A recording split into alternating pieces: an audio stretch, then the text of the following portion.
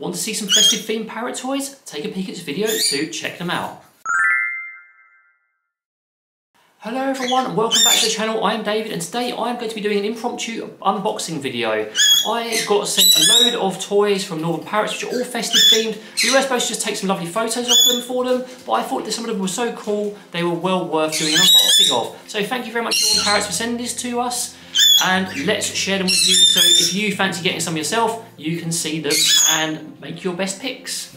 So let's start off with a trio. We've got these festive goodie boxes. Now you've got a snowman themed one, You've got a reindeer themed one. They're basically all foraging boxes made out of cardboard with loads of shreddable bits inside which you can stuff treats in. And then finally, everyone's favourite, we've got a Santa themed one. Now, I haven't taken them out of the plastic yet because I don't want them to go funny until we're ready to play with them. But they're very inexpensive. They're meant to be destroyed. Your parrot can have lots of fun with them over the festive period then you can just reuse some of the parts or discard them. They're a really good, cheap, one-shot toy that your parrot can enjoy. Next one, Scampy likes. Look he keeps peeking at it. It's the festive a Christmas cracker surprise parrot toy. It's kind of a similar theme. It's cardboard stuffed with loads of lovely shreddable materials. In a little Christmas cracker, we like that sort of theme. It's really nice. This is one we've actually bought before that the flock really enjoy. And again, you can stuff some treats in it to make it more fun or just let them destroy it as is. What we got next, Scampy? Shall we have a look? we've got a vine swing, a festive vine swing. Now, this is absolutely awesome. It's all natural materials. The only thing we don't like is the bells, as if you watch my channel, we're not fans of bells. They may be festive themed, but for us, they will be coming off when we give it to the uh, birds. Is this one for you? Mm, not sure, but it's a really nice toy other than that, and I think the birds will get a lot of joy out of it.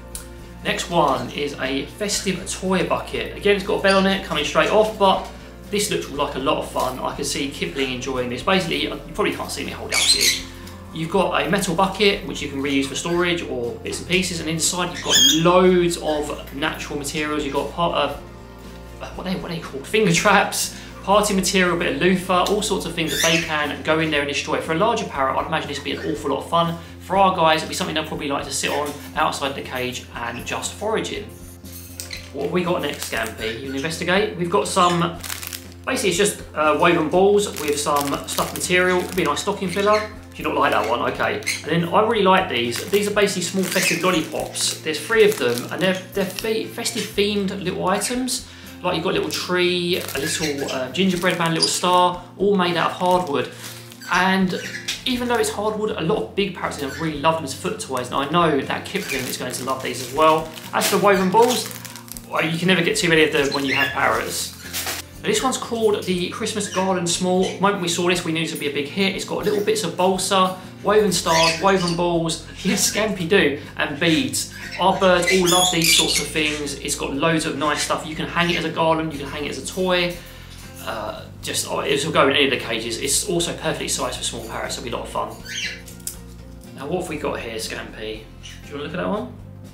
He doesn't like this one. He doesn't like the dummies. We're not big fans of plastic. But once we remove those, we've got the uh, the Christmas star. It's basically a woven star, and Pickles loves these sort of things. So we'll probably take off little plastic bits because with conures beaks, we're not so sure.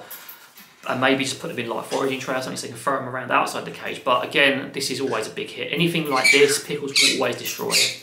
Now Scampy isn't a fan of this one, he's actually retreated because it's rather large. And this is basically a, like a big hanging tree toy if you've got a big parrot, I think this will be absolutely amazing. Um, do be aware that it's got some cotton rope on there, so it's something you may want to play with outside the cage, but it's nice and large, it's got lots of stuff going on in there, so it could be quite fun. I'm not so big fan of bells as usual, but then that's your personal choice if you have them.